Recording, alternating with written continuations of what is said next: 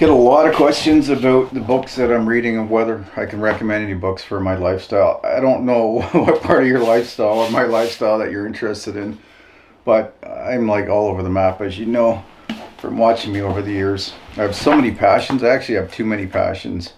I kind of admire people that can really focus in on one hobby or one pastime and become an expert in it. I'm just not that way.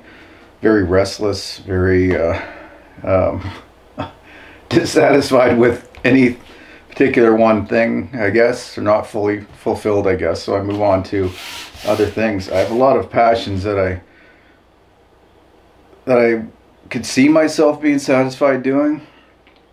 Give you one example is hunting. So I'm out looking for moose this morning, just filming, not actually hunting. But I love moose hunting.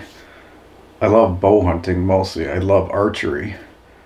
But on and off over the years since I was 15 when I got my license, I've actually spent as much time waterfowl hunting as I have big game hunting with a bow and especially with dogs. Like today, I couldn't bring Callie out with me because she would spook deer and moose and bears, so I can't film them in that case. And when I'm hunting those, I can't have a, a dog with me either.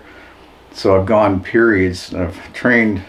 How many dogs? I've had Shep, uh, Yellow Lab, Hunter, Black Lab, Shadow Black Lab, Gunner Black Lab Toby the Golden Retriever and Callie the Golden Retriever. All of those dogs were trained to different levels of expertise in um, in duck hunting, waterfowl hunting, and upland game hunting. Um, a couple of dogs in particular belong to hunting retriever clubs and trained them fully. So I was passionate about both of the, those things and still am. So I have to split my time. So I haven't become an expert archer, for example, or an expert waterfowl hunter.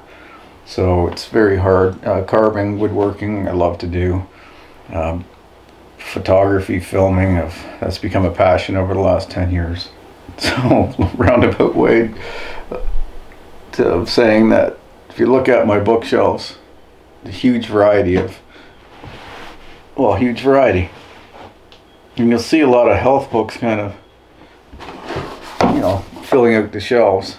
I try to research on like all sides of every topic that I'm interested in. So if it's health, if it's diet, for example, I do research on, you know, low fat, low carb, high protein, low protein, and then I pick what's best um, for myself. And my wife really does that as well. So we end up following what we um, believe is right for us after doing a lot of research. And speaking of that, before I get into showing you all the books on our bookshelves, I want to thank AG1 again for sponsoring the video.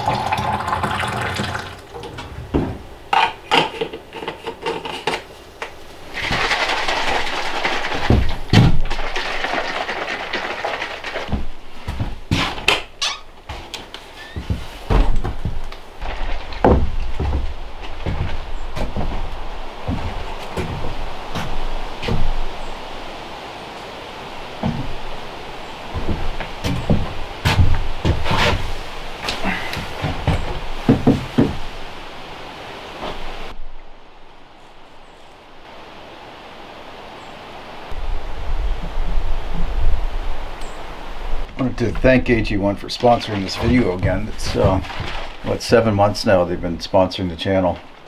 I continue to use it. My family continues to drink it every morning. My parents especially are seeing, well, I'm seeing great results as far as my energy level and I think, um, and immune support.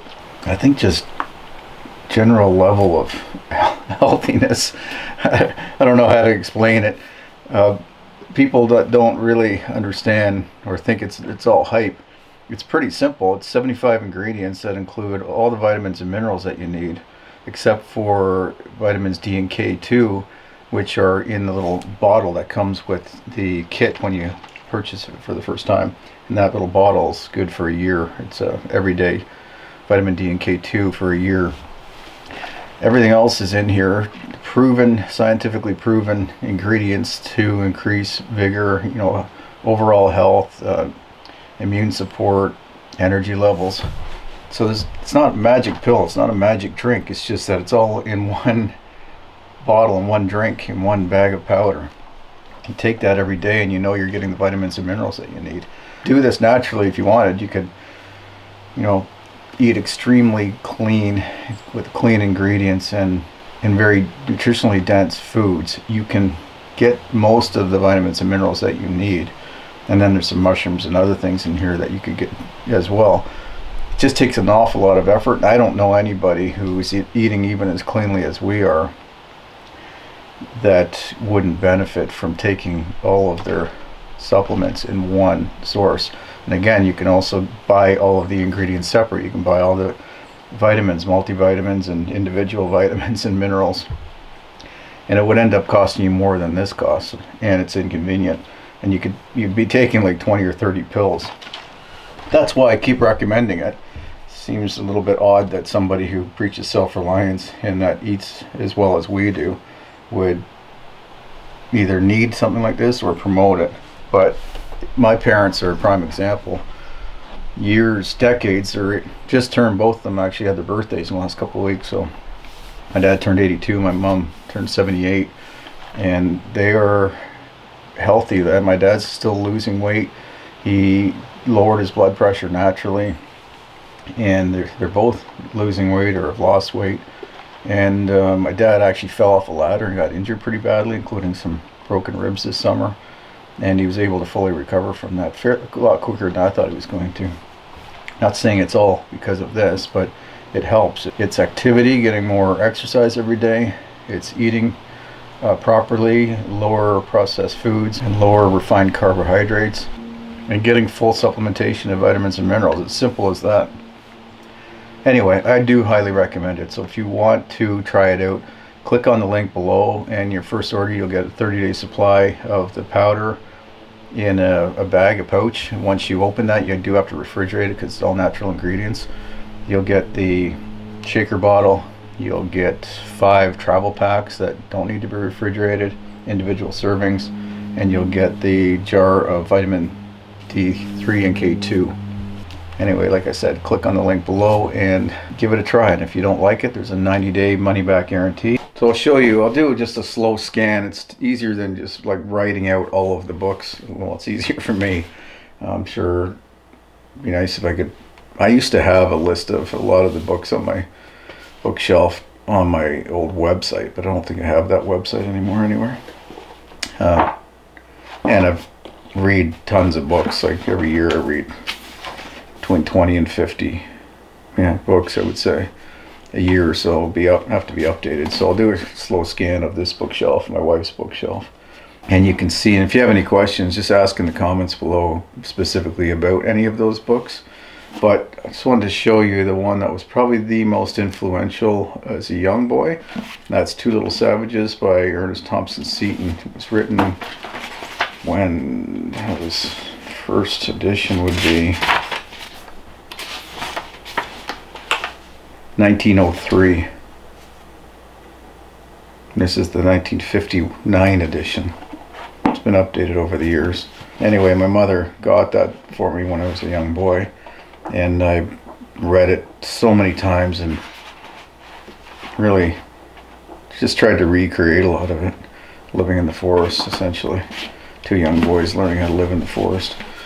And the second one that was almost as influential, slightly later in my teen, well, later in my teen years, and what caused me to actually move to my first property and build that first log cabin back in the um, late 80s, late 80s, yeah, early 90, 90s, and that was Walden by Henry David Thoreau. I'm not sure where that book, you'll see it in the scan at the bookshelf somewhere but um, that wanted me to just try living off grid as well and to not participate in society. It actually was not so much something that taught me or inspired me to take off and not live. It just was it just opened my eyes up to that other people felt the way I did, and that um, but it didn't really fit into civilization the way people expected me to and expect people to in general. I'm just not uh, that interested in modern society and this everything I've done throughout my life, other than when I was married and raising my kids, was really focused on how do I get out of that rat race? How do I live as simple as well, it's not simple, but how do I live as naturally as possible? The, in the old using the old ways. It just really is my passion, and I would be even more so if I didn't still have a wife and kids that I have to or want to support. So you know that's why you see modern things all over throughout my life and throughout my videos. If i had my way i wouldn't have any of it and it would you would never have heard of me really if i had had my way. Anyway i will show you a quick scan. Like i said if you have any questions about any of the books or anything i really highly recommend maybe in order of priority even.